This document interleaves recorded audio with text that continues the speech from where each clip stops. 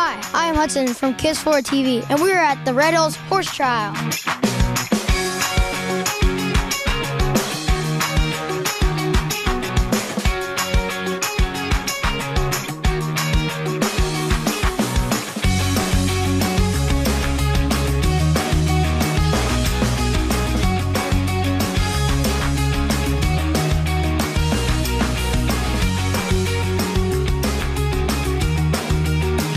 I'm here with Kaylee and Renee, and I'm going to ask them what is their favorite thing about this event.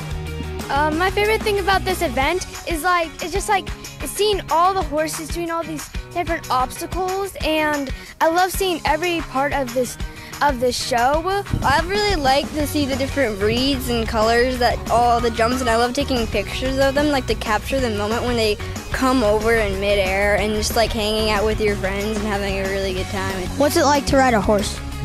Ah, pretty amazing, especially around uh, this lovely venue here. We've got lots of jumps and in and out of the water and over ditches and everything, and uh, try and go as fast as we can and jump all the jumps. It's a load of fun.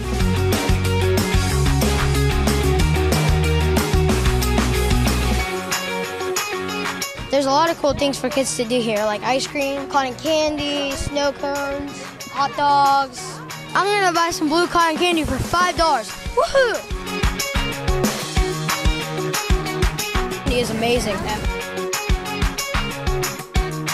We're eating cotton candy, and it's really big and delicious. Hey Luke, um, what what was your favorite part of the day? It was jumping on the bouncy house. That's fantastic. what do you think about the horses? I think they're fantastic.